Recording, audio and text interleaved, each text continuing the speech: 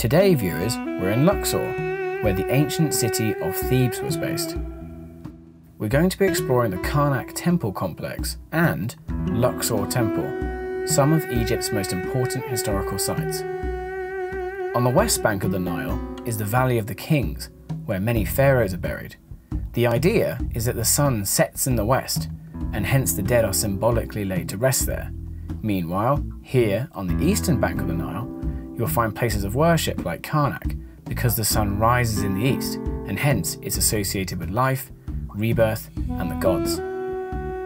Karnak's construction began in 1550 BC, nearly three and a half thousand years ago. I'm going to show you today how each of these monuments carries its own unique stories.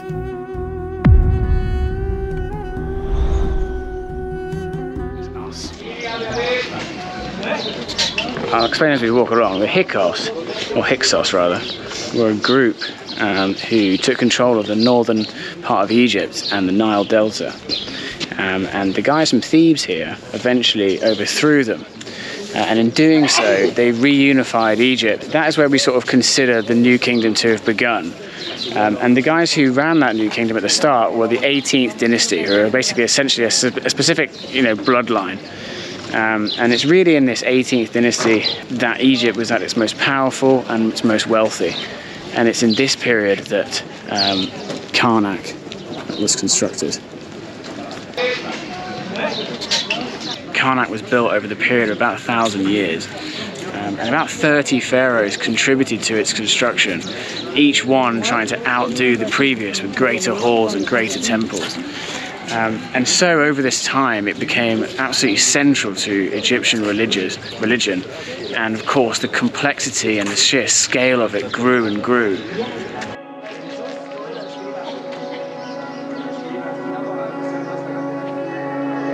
So I'm walking around the Great Hypostyle Hall, the precinct of Amun-Re, and it's one of the most magnificent features of the Karnak. It's comprised of 134 columns arranged in 16 rows. Uh, 122 of these are 10 meters tall, and the remaining um, 12 are over 21 meters tall. Um, and you can see that over here, the much larger ones, and then behind um, we have the shorter ones. And if I look above, you'll see these architraves, these long rocks going over the top. And it's thought that these architraves um, weigh up to 70 tons. And originally, you wouldn't have been able to see the sky in here like you can today. It would have been closed. And I think that would have given it a really kind of gloomy and but very powerful uh, impression as you walk around here, presumably just with the light of the fire.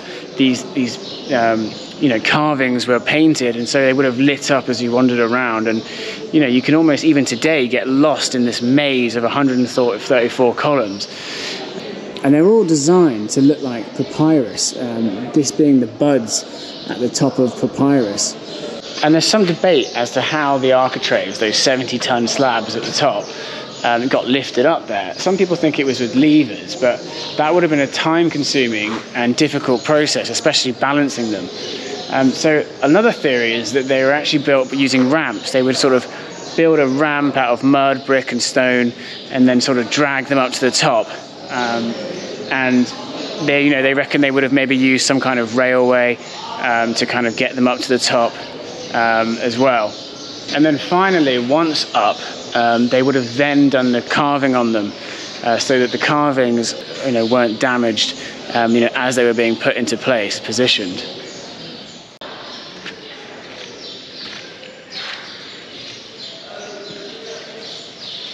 So you may be wondering, who was this temple dedicated to? And it was dedicated to Amun who was the local tutelary deity um, of Thebes. And I'm just looking at him here. You can see him quite clearly there. And he's recognizable by his ostrich plume feathers in his hat, the tall, long feathers uh, you can see on his hat here.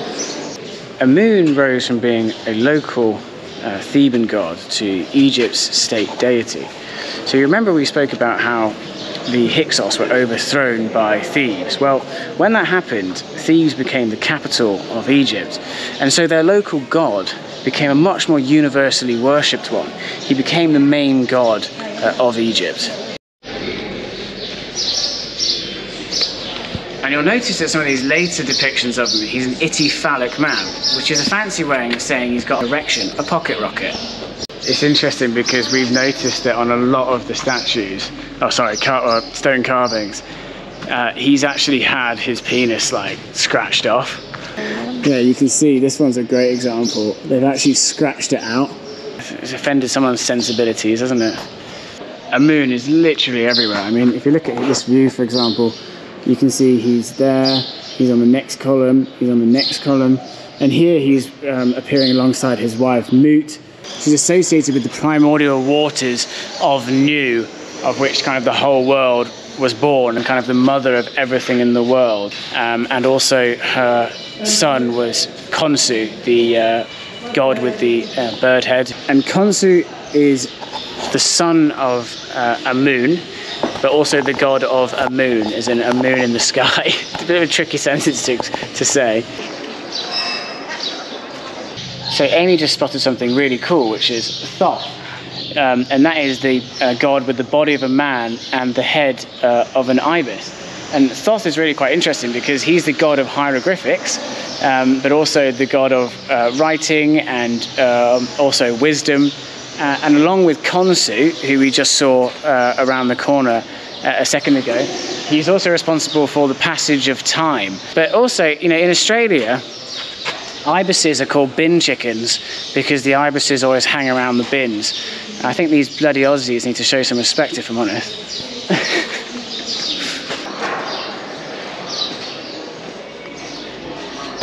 and here's a lovely little additional feature. Um, you see up here these lattice um, windows. Now, you'll recall earlier I mentioned that there would have been uh, a roof here. Well, that's the light that would have come in. The light would have come in from this lattice window, um, as well as presumably some torches as well. Um, so that'll give you a sense of the amount of light that would have been in here. Not a great deal. Um, again, again, though, I think that that's a design element um, purposefully to uh, enhance the aura uh, of this place.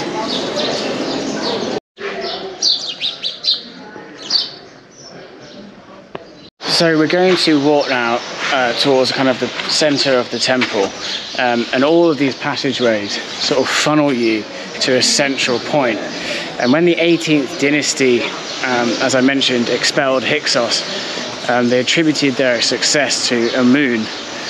Um, and so at the center of the temple, down here, we'll find um, this uh, sort of the central point where they would worship uh, moon. So we'll walk down there now.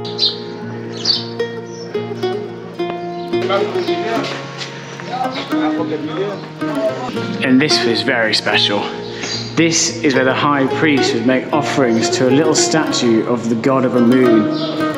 So yeah, they would place a little statue uh, of moon here, uh, right on top of here, and he would get a little bit treated like a person.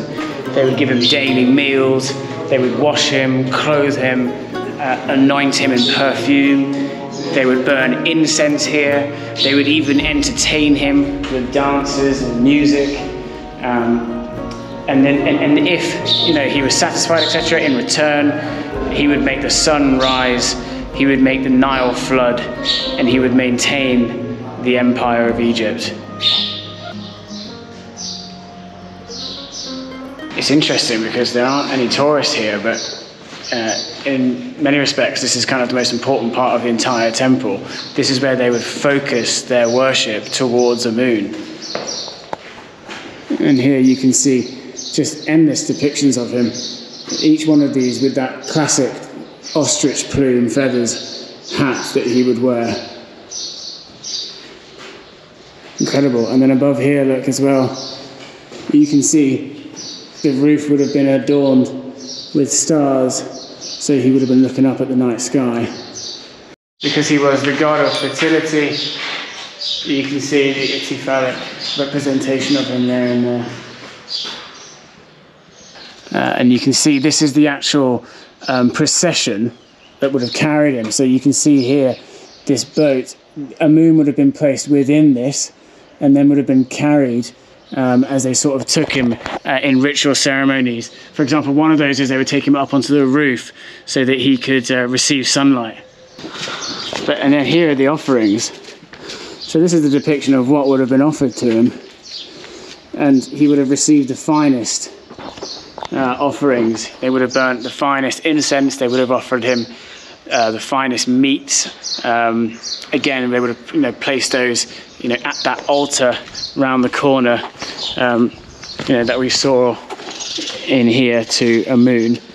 Now we're just heading towards the sacred lake, and according to Egyptian creation myth, before creation the world was filled with darkness uh, and water. And when we were in the um, hypostyle hall there, you saw the giant columns. They're meant to be papyrus, and Amin, uh, Amun rather, um, was meant to be born in a primeval papyrus swamp. And I think it's interesting that um, over at this sacred lake that's meant to sort of represent, um, you know, be symbolic of essentially their creation story, if you will, um, how accurate it was. You know, we know now about human evolution that we, you know, did evolve from, you know, these sort of newt-like creatures that we see from the science.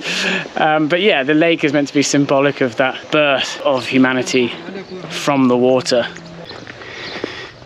So behind me we've got the lake, and I think it's not surprising that they sort of look at water, look at water as the giver of life. When you consider, you know, the kind of the importance um, of the Nile, the role that it played, you know, in supporting their entire agricultural system. When you sort of, you know, travel further away from the Nile and you see the sort of arid desert environment, the importance of water. So in a way, it's not really surprising that that they look at this um, at the lake as sort of symbolic um, of the you know evolution of life for them.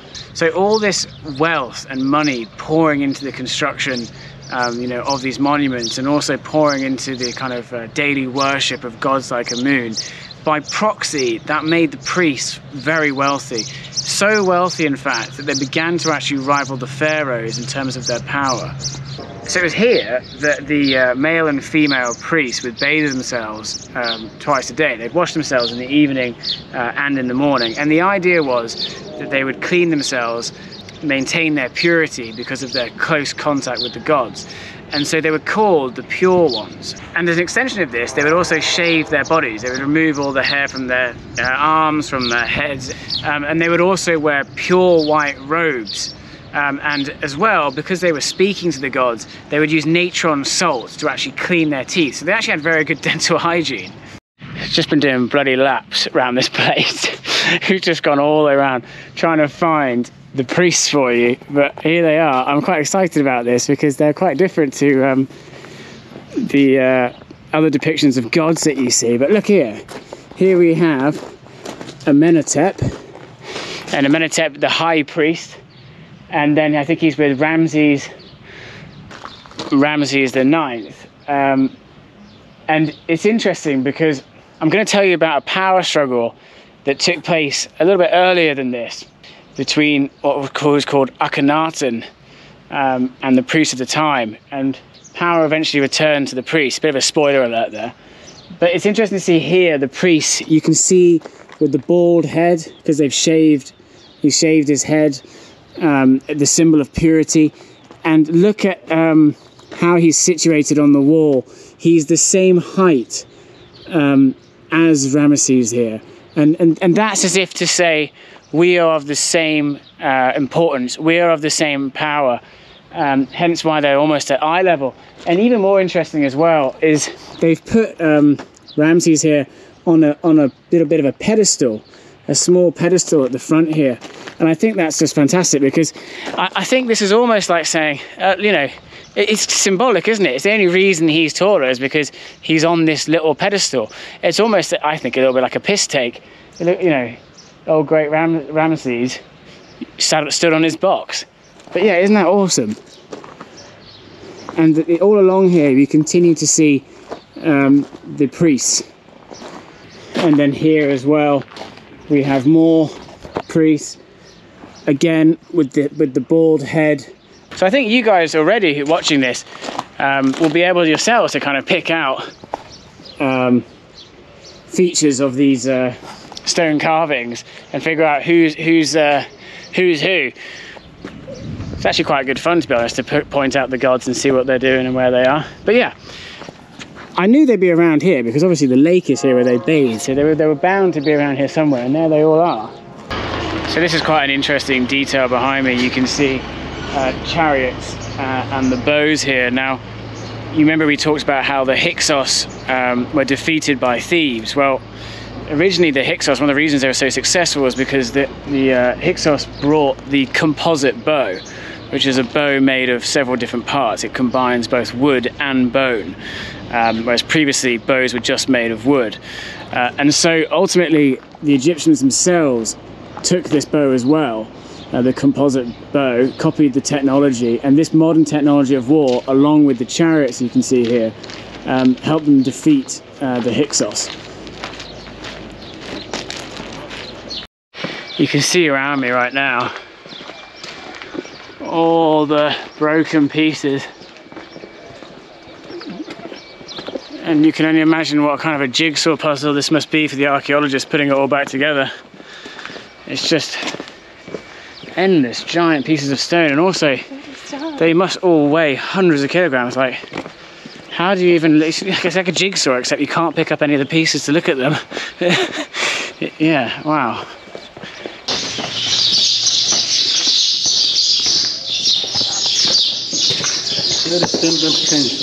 Yeah yeah yeah ah okay thank you sir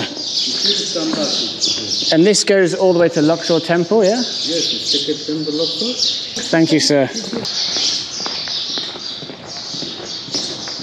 I'll show you something else, another little detail of how to tell the distinction between the crown, which is interesting, the two sides of um, Egypt. Throughout Egypt's history, there are a number of times where it was divided north and south. Um, and there is a crown which depicts the south and a crown which depicts the north. And at times when the pharaoh was the king of both the north and the south, he has the combined hat. So here, this is one of the crowns. And then here, this is the other crown.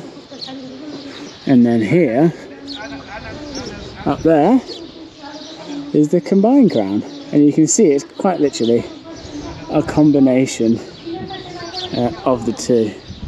Wow, I'm really starting to get my history buzz on now. So look at this on here, and this is of course you can just see the top of it's Amun. But unlike the other images of Amun, you can actually see the individual feathers on his plume, uh, the ostrich feather.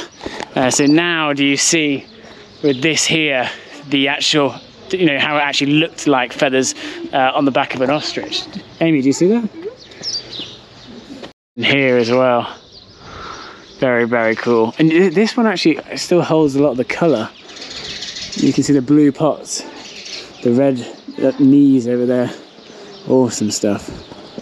I'll tell you what, ladies and gents, I'm going to be an ithyphallic man in a minute when I when I come around this corner and see this view. It's going to be absolutely awesome. I'm going to look just like Amun in one of those pictures. Too much, Amy? Yeah, maybe I won't put that in. But no, the reason I'm saying it is we're going to get a view down the Valley of the Sphinx. So we're walking now from Karnak down the Valley of the Sphinx to the Temple of Luxor. So this, ladies and gents, is Sphinx Avenue. I think it's two kilometers or 2.7 kilometers long. Um, and it's got over a thousand, I think it's a thousand, I find it specifically, I wrote it down, 1,057 uh, statues in the form of sphinxes uh, along it. Presumably every single one of these would have had a sphinx on it at one point or another. And there are three main iterations uh, of the sphinx. This is the, the sphinx with the body of a lion and the head of a man, but we've seen a lot already of the ram sphinxes, which is the head of the ram and the body of a lion. And of course, that is associated with the moon, that ram. You know, it's that association with being warlike and also that association with fertility uh, as well. I might have to double check this for you as well, but I'm pretty sure that this avenue used to be a canal um, and that they would float down here, uh, one of those boats uh, with the statue of Amun uh, on top of it when they sort of did the processions. And then later they paved it over uh, and then would carry him um, you know, down this avenue.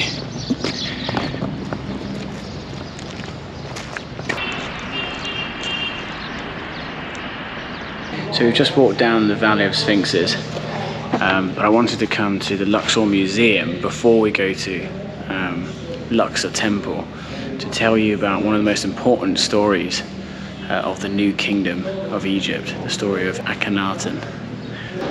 Composite bow. So remember earlier I talked about the importance of the composite bow uh, when Hyksos, Hyksos, Hyksos um, took over the northern part of Egypt and how eventually the Egyptians ended up using their own new technology of war against the Hyksos. They used their own tech against them. Well, here it is.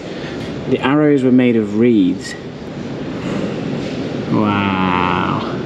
And you see, you see what I mean about that quite distinctive shape that we the, we saw in the stone carvings. Awesome. Wasn't expecting to see that. Really cool. This here is the larger bow before the composite bow. You can see how much larger and hence more difficult it was to maneuver. Amy, I've bloody seen him. I've bloody seen him. Akhenaten. That's Akhenaten. Akhenaten's over here. And the Talatat stones. And Akhenaten was very aware of that growing power and wealth that those priests we discussed earlier uh, were starting to get. And so what he did was he was starting this monotheistic religion.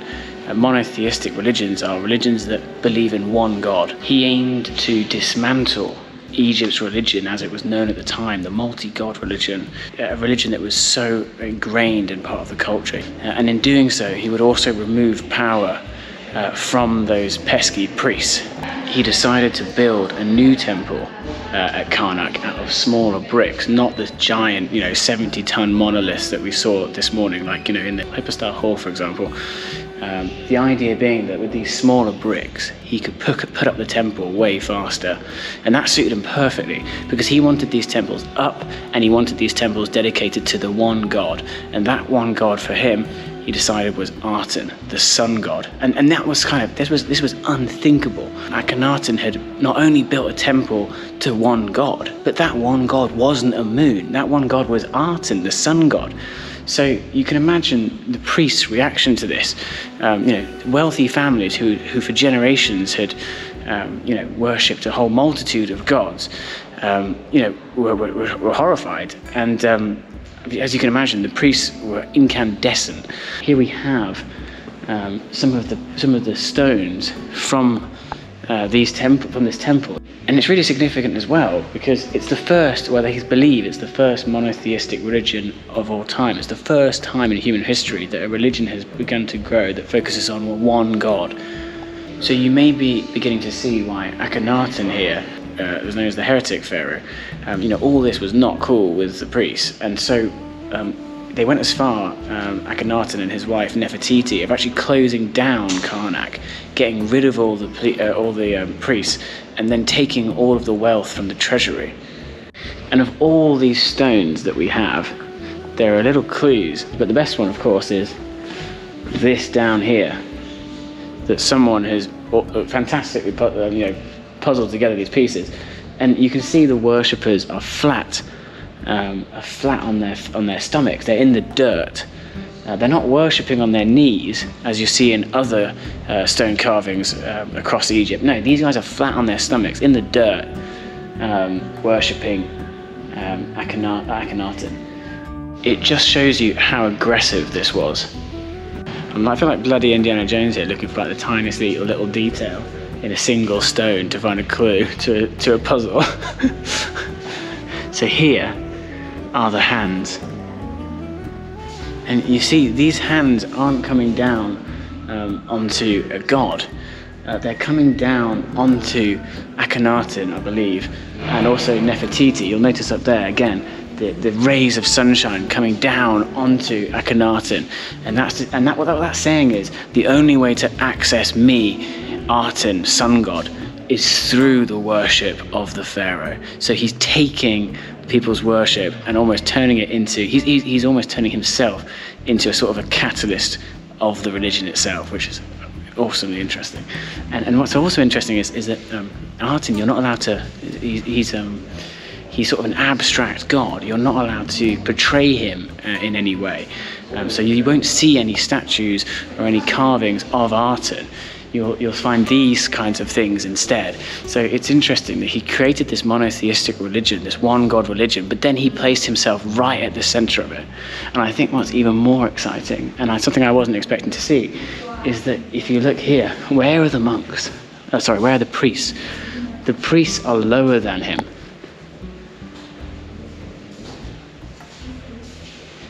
So he's changing the status quo. He's saying, Come to me for your worship of God. Come through me.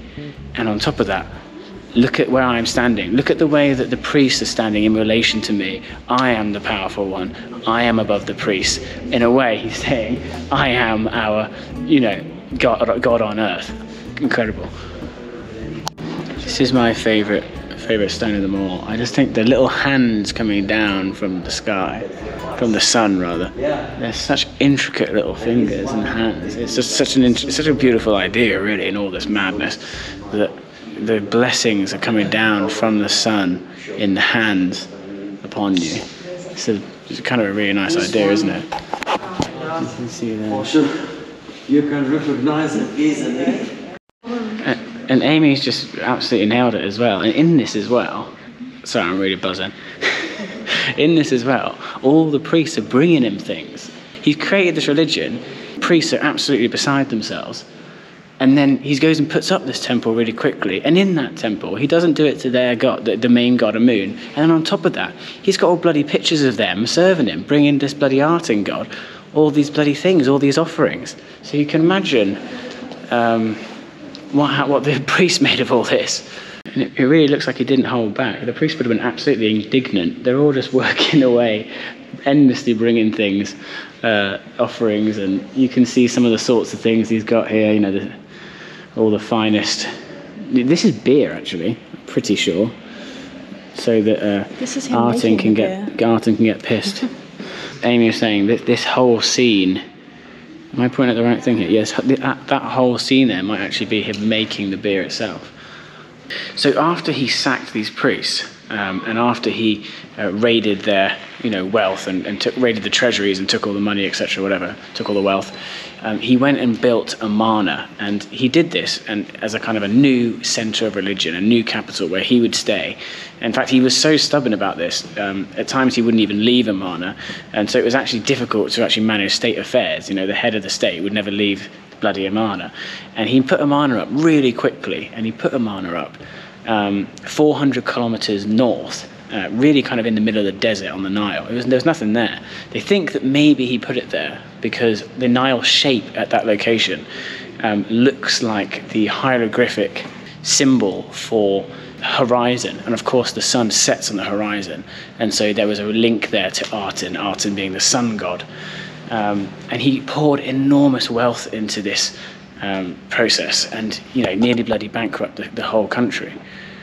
And here we have another image of him. And i just think it's really interesting the slim, slim uh, face they give him they almost give him a sort of an evil kind of look like and i've noticed that they say this here as well. In contrast to idealized images of earlier kings he's almost like i just find it such an incredible story. He's almost like going i'm here i'm the bad guy and you're worshipping me boys. This is it now. You priests are out of here. And not only that i'm closing down your karnak temple and i'm going to start my own city and my own religious center called Amarna and you guys are just going to like it. Or, or you're going to you're just going to get on board that's it so yeah it's absolutely fantastic he also he looks a little bit like you know scar from disney or something like he has a slightly evil malevolent look to him doesn't he it says here he's holding the Heka and, and Wast, the symbol of judgment. Well, he just would be, wouldn't he? he wouldn't be holding a bunch of bloody daisies, would he? I think as well, as much as Akhenaten is, uh, you know, portrayed um, in the historical records as a bit of a rebel, and I think certainly by the looks of these people lying on their stomach, he was that. He might not have been the best guy. I think it's also fair to say that Akhenaten also was a bit, may have been a bit of a visionary. um, you know, to kind of create a monotheistic religion, to be the first person to do that. When you consider nowadays that most major religions across the globe are all monotheistic religions, except for, you know, perhaps like Hinduism, um, they, but they certainly dominate. Um, it's interesting that he was the first person to come up with that. And it's also interesting that the way that Akhenaten actually used religion to control people, um, I think is very interesting. Um, so as evil as it was, um, it says a lot and it, it, about the, can we say genius of the guy? I don't know, but it's interesting that he used it, you know, in this manner, uh, you know, three and a half thousand years ago. Uh, these little figurines were placed in tombs, and essentially they're servants um, and minions for the deceased. The idea being that if you needed to get some work done, you had some servants around you, and uh, you could call upon them for a bit of manual labour in the afterlife. Now, I'm going to pop over to Luxor Temple and explain what happened to this story. Akhenaten, I can tell you, passed away, and Tutankhamun uh, sort of did his level best to restore the status quo to get things back to normal.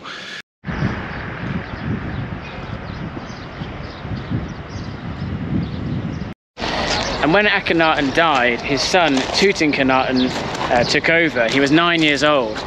And Tutankhaten changed his name to Tutankhamun, Amun, of course, being the god of Thebes, the god of Karnak. Uh, and so you can see he was trying to re-establish favor with the wealthy and with the priests by changing his name to Amun, probably under the guidance of his advisors, um, given how old he was.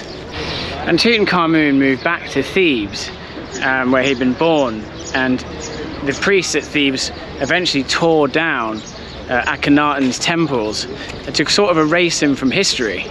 At Luxor Temple here, Tutankhamun completed uh, the decoration of the entrance of the colonnade of Amenhotep, III.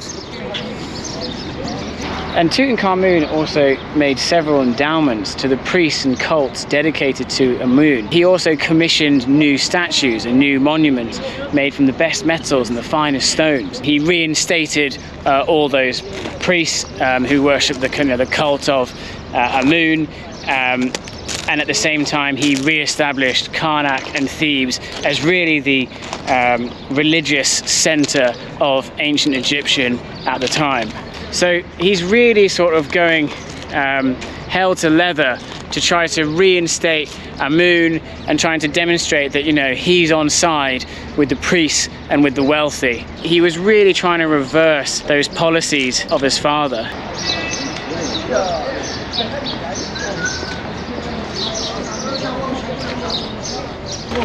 Here you can see they're literally lifting one of the heads on with a crane back onto the sculpture. Uh, example of archaeology in practice or restoration in practice. You can see this head swinging around there on the crane. So during Akhenaten's uh, reign, uh, diplomatic relations have been neglected, and there's evidence from Tutankhamun's tomb, from various gifts he received from other countries, that he made efforts to um, restore these. But unfortunately, there were battles with the Nubians and also the Asiatics, so he wasn't entirely successful. His tomb contained body armor and a, essentially a military stool, um, as well as bows. He, uh, Tutankhamun was trained for archery, um, but it's thought that he may not have actually participated in these battles uh, because he had certain health issues. For example, they think that he may have had some issue walking because they found a number of canes in his tomb. But by the same token, uh, canes were associated with wealth, and so having a collection of canes might not indicate that. But nonetheless, due, due to his age at least, we can say that it's likely that he wasn't actually involved in those battles himself.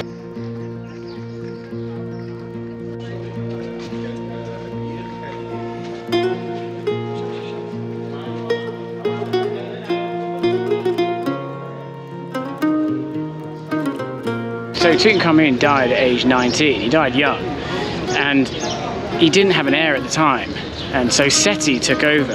And Tutankhamun's efforts notwithstanding, Seti really sort of restored things to normality.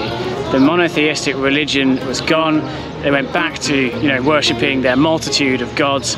Um, and so the Amarna period was over, um, and they had returned to really great times of wealth and plenty. And then Ramses II. And Ramses II was arguably uh, one of Egypt's most prolific constructors. He may have built more than any other uh, pharaoh. And this is no more evident than at Abu Simbel.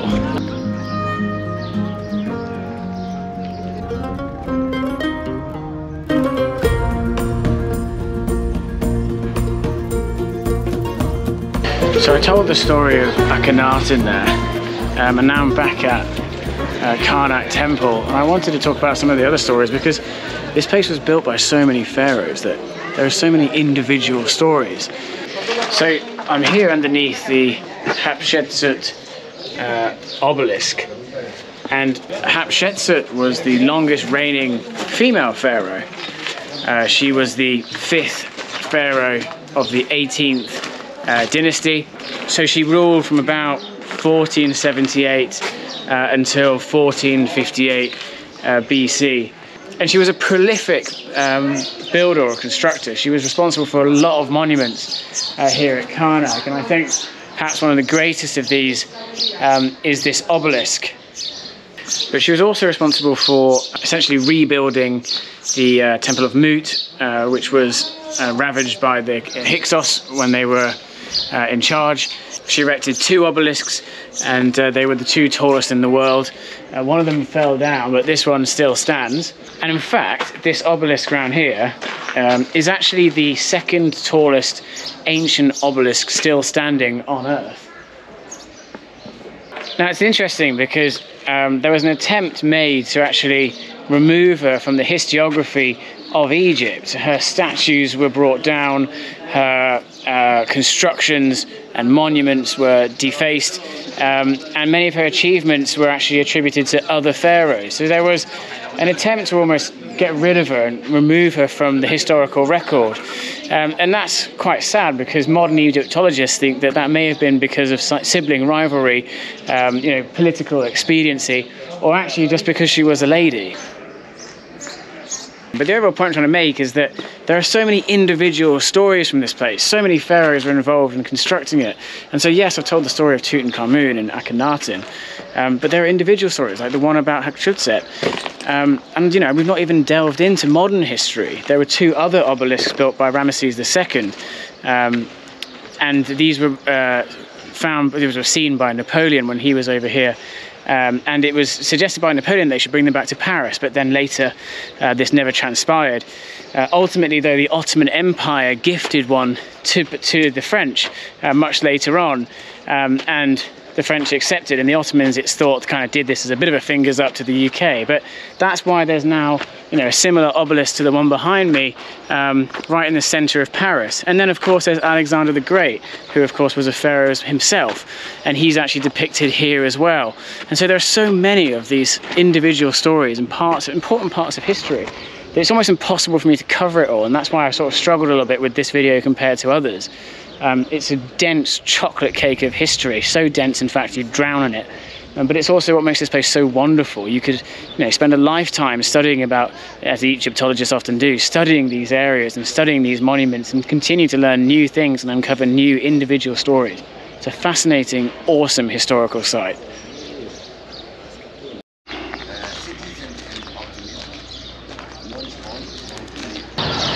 Well, that's it now, ladies and gents. I hope you enjoyed that.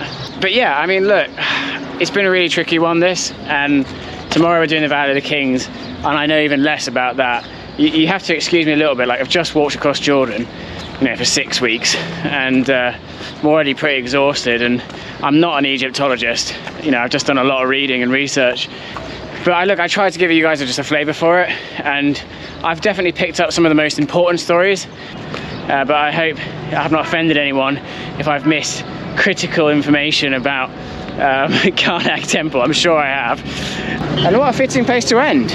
This wasn't even planned. See how things come together sometimes?